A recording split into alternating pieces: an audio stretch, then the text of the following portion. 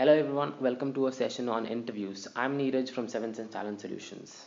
If you're wondering what is the HR wanting to know from me or what is the HR expecting from me, always uh, you are, I, I receive questions what will a HR expect? What will you expect from a candidate?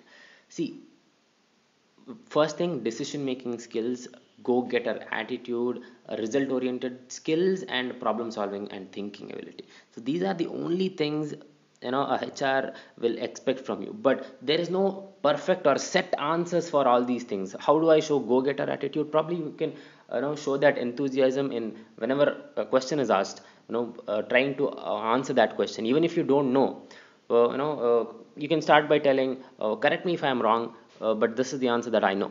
So definitely. So you are already giving a heads up that i'm going to try this even if i don't know. But still that shows your go getter attitude. And result oriented skills result oriented skills is nothing but you are you should have proper uh, skill set for the job that you're applying. If you have c++ or java knowledge for a design job in mechanical engineering it doesn't match. So right skills for that particular job is always required. And problem solving and thinking ability. See sometimes the hr will trick you by asking uh, problems or any logical problems. So make sure you have that problem solving skills and make sure you have read uh, you know a couple of books where you know case studies at least if you are you know especially when you are applying for a management job right? If you are applying for that kind of management jobs make sure you have know a couple of case studies where uh, problems have been tackled what are the common problems. So have that problem solving ability you know, thinking capability so this is all hr would be looking or uh, wanting to know from you. And finally self confidence is the key. Be you believe in yourself right? And next now moving on to the questions that will you know usually come. So these are the set of questions that usually uh, comes to um, an interviewee from an interviewer. Now let's try to tackle a few from this uh, lot. So it can be generic it can be moderate it can be a trapper so these are the three uh, sections which i will divide the questions into so the first one all right, coming to the biggest or uh, the most uh, asked question on the table. Tell me about yourself. You never get a second chance to this answer. Like you, if you make a wrong impression here, you never get a second chance to correct this. So how to answer this tell me about yourself now everybody goes blank or everybody starts with uh, okay whenever you ask tell me about yourself they think that okay i'll talk about uh, my family i'll talk about my pets i'll talk about my that this everything. No that is not what the hr wants to know. Hr is least bothered in knowing about your pet's name your sister's name brother's name what are they doing how many siblings do you have? They are least bothered so you can start with a small introduction of yourself your name and you can tell them uh, you come from a family of four or five. That is all. You don't have to tell everybody's name there. So uh, i am neeraj. I come from a family of four. Now then you talk about your interest into the subject. Now why have you chosen this particular subject and what is your interest into the subject? And the next thing that you should be thinking is what value can you bring to the company that you are applying right? This is the main thing that the hr wants to know. See this question is not about you. What do you want? I want a stable job. I want this. I want that. Don't make it about me. Give it to them. So give value to the company. So the hr wants to know what value can you bring to the company right? So make sure you be yourself but be your best self right? Don't always lead with your strong foot it's it's always told okay be honest in the interview. Yes i agree to that but you know be your best self. It's just like a date. You don't tell all the things that you of yours all the bad things good things weaknesses in the first place. So start on talking about you know uh, strengths and tie it back to everything that you tell. Tie it back to what's in it for them right? Okay this is the success mantra for this particular questions. Remember these three s's okay? S s number one success.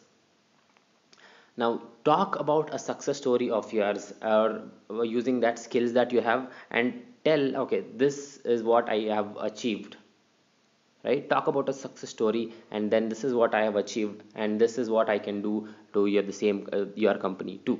So that is your first test second one strength. Talk about your greatest strength your skill. You know your understanding on the subject your understanding on the knowledge or your understanding on the end user of that product right? So talk about your strength. And third thing talk about the situation here. I mean like why do you want to get or why are you the right person to get hired for this particular job role right? So when you talk about your success your strengths and your skills and other things you, you have already answered this particular questions. Why are you the right fit for this job right? So please go through the you know uh, job application job description when it is given to you.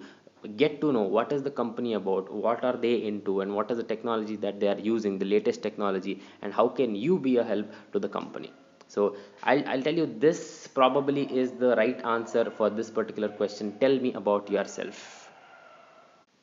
Now if you have observed for just for me to explain what to tell I mean what are the points to tell it took me around three minutes. But imagine if you are uh, talking about yourself and explaining all those with an example it will take easily around 5 minutes to tell about yourself which is a good amount or good number of time you know uh, to talk to your interviewer.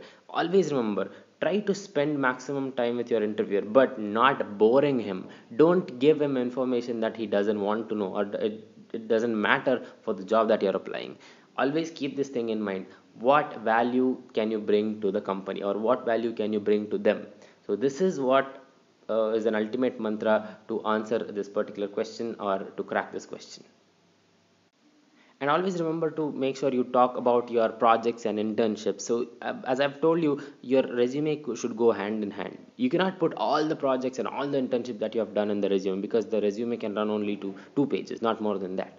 So talk about those internships and uh, you know projects or anything uh, you know such academic activities that you have uh, carried out uh, in your schooling or in your college um, which is not there in your resume that gives another you know interesting patch where you can you know discuss with your hr and please do not think this again this is not a viva where you are answering a question and he is only asking you.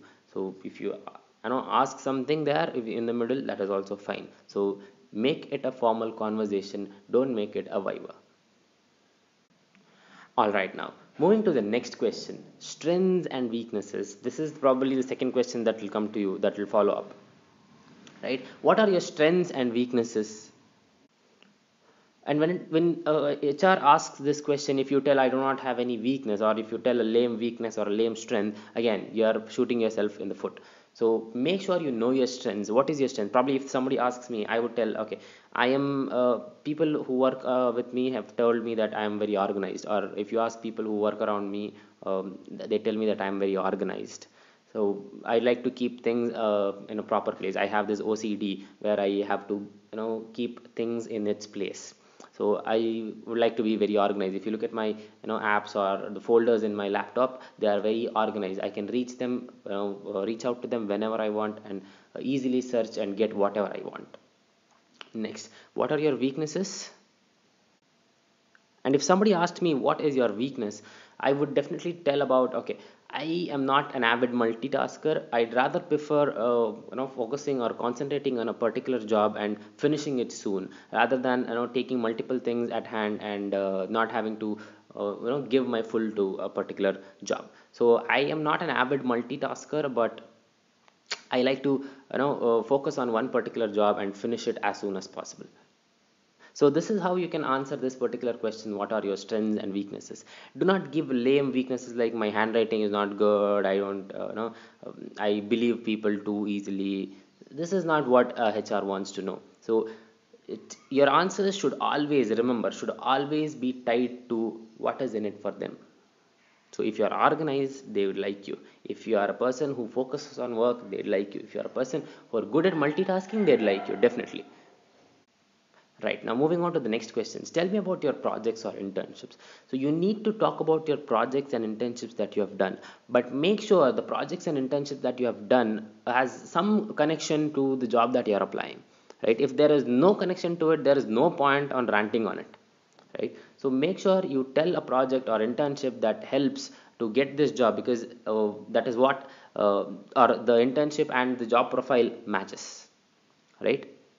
so make sure you talk more about your internships and projects like i said it should go hand in hand do not put everything in the resume every detail of the project in the resume make sure you keep that uh, in a box where you open it only in front of your interviewer right so talk properly about your you know internships and projects when it comes to the interview. Now let's look at more moderate questions uh, in uh, that is asked in the interview. It can be what's your contribution to the college? Now this is a trapper because not everybody has contributed to the college. Or if you might think now what have i contributed to the college? See what is your contributed to the what is your contribution to the college? First being a responsible student first contribution to the college. Next if you have you know won any competitions if you have represented your college in any uh, events outside or to other colleges that is one contribution to the college. So you can talk about those you know events or those sports where you have represented your college um, in the city or in district not in the states or in uh, in the nationals also.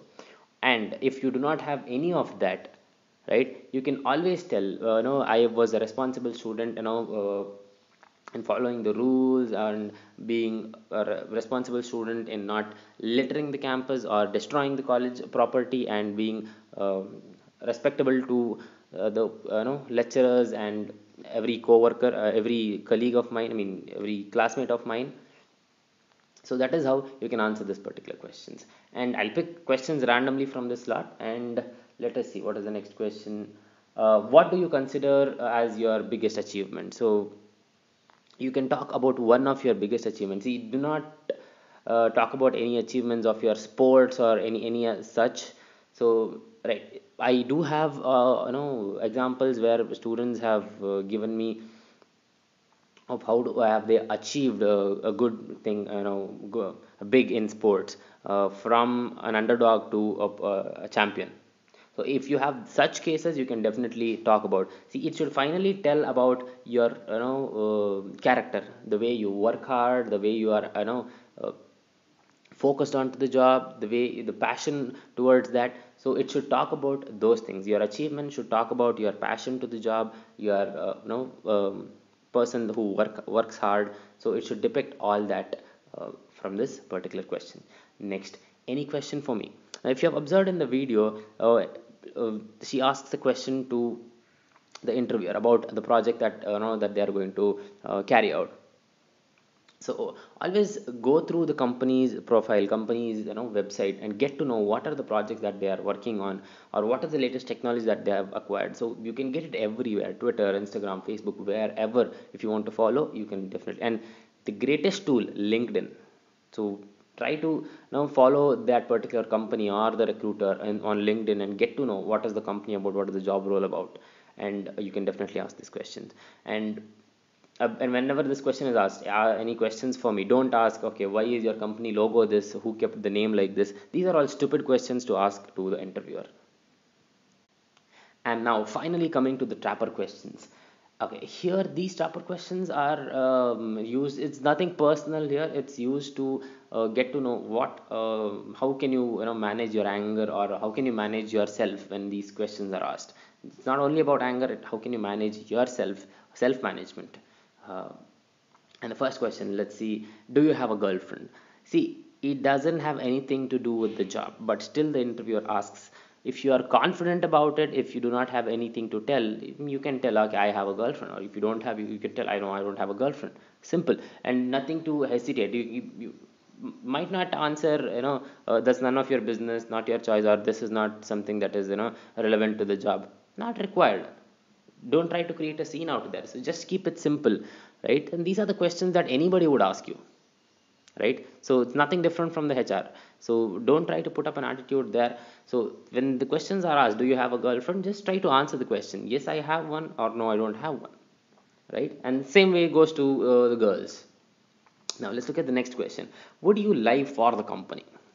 Now when this particular question is asked uh, he, just, wants to know how dedicated he, he is or how ethical he is more than dedicated.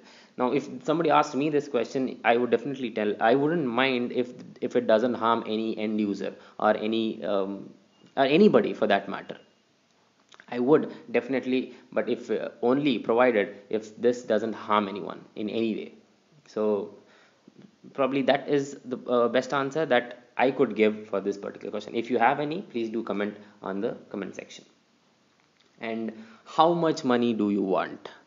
How much money do you want? see if you are an experienced candidate then probably you can negotiate on this but if you are a fresher you will already have received this on your uh, job description right uh, this is the salary that we are offering and yet still they if they ask these questions you can definitely tell uh, anything around uh, the ctc that is mentioned is fine but anything below that uh, it would be difficult for me to you know uh, join which means that you are not agreeing anything for less than that see you will have to understand this you would have agreed or you would have sat for the interview because you are you're okay with the CTC, you're okay with the job role, you are okay with everything. If you are not okay with the CTC in the first place, you would have not sat for the interview. So anything around the CTC, right? You're okay, but anything below it, uh, it will be difficult for you. Can tell it will be difficult for me to join. Keep that simple. Keep it that simple, right? So now that is about uh, the three trapper questions, and yes, we'll definitely meet you in another video for more such information if you if you have a particular question that you want to ask or any questions that you have uh, to ask please drop in the comment uh, section so that in the next video I'll try to answer them thank you